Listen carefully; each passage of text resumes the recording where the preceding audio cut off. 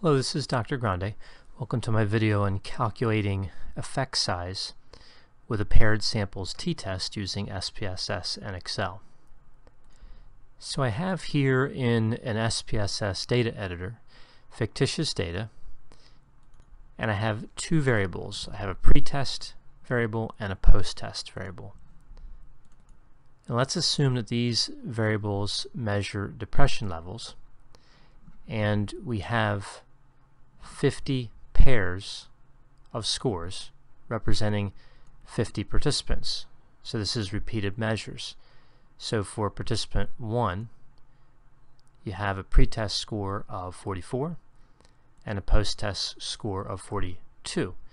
So between the pretest and the post-test, you would have applied some sort of treatment.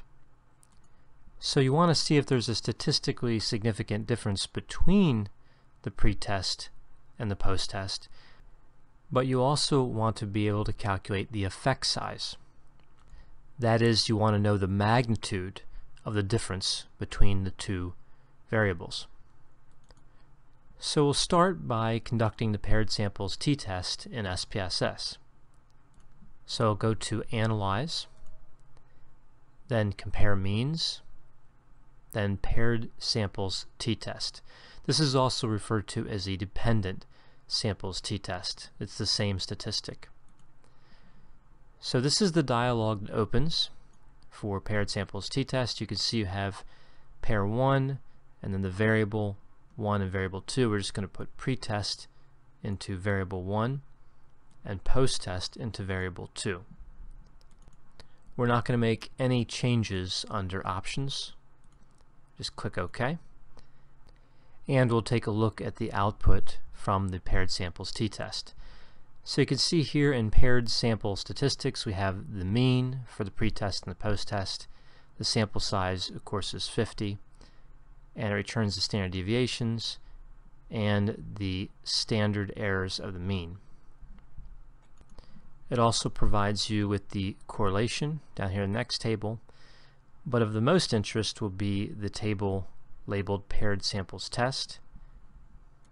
And you can see there are a few different statistics that it provides us, the mean, the standard deviation, the standard error of the mean, the 95% confidence interval, both upper and lower, the value of t, the value of the t statistic, degrees of freedom, and the p-value.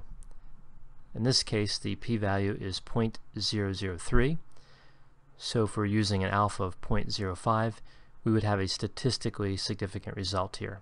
We would say there's a statistically significant difference between the pretest scores and the post-test scores.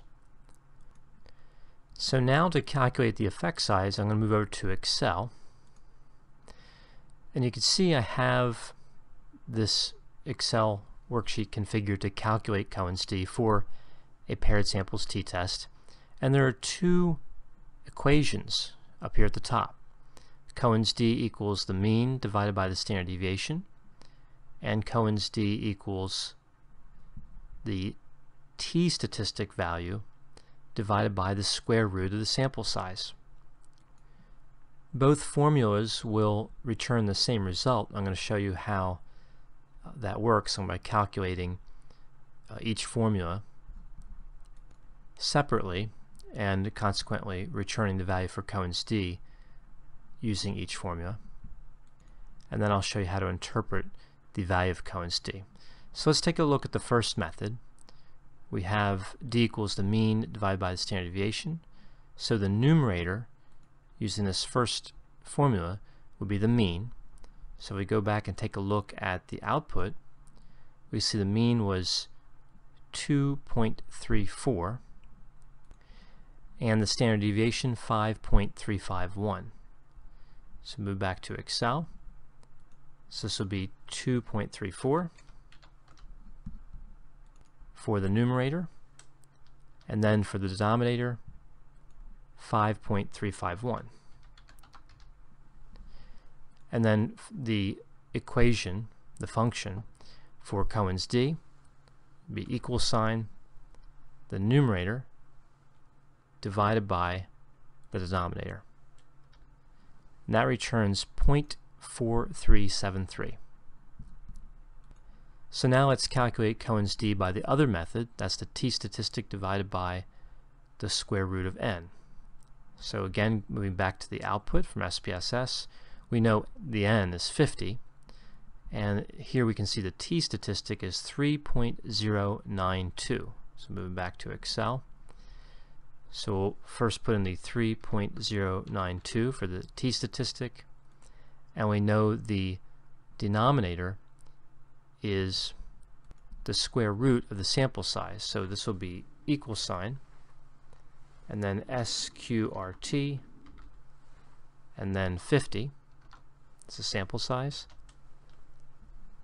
So you can see 7.071. And then again, to get Cohen's d, we'll just take the numerator and divide it by the denominator. So it'll be equal sign, the t-statistic divided by the square root of the sample size. And you can see we do get the same value, 0.4373. So now for the interpretation of Cohen's d, we can see we have three values here, small, medium, and large, 0.2, 0.5, and 0.8. And these are really just general guidelines. So we can see for our Cohen's d value, let's just say it's 0.44, rounding it up, this would be a small effect size. It's between 0.2 and 0.5.